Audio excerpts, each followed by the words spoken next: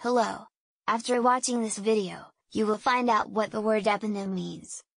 A person, real or fictional, whose name is used to denote a certain object or activity. A word derived from the name of a person.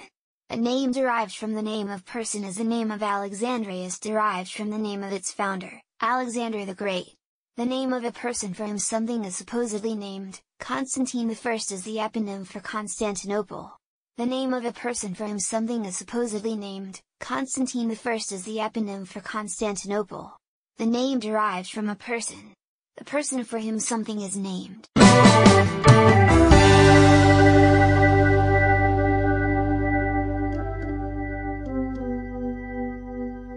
Mm.